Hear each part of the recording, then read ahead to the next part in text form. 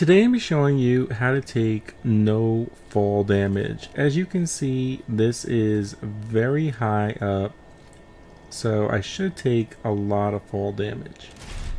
Now I just want to show you that I have all offensive and a health module.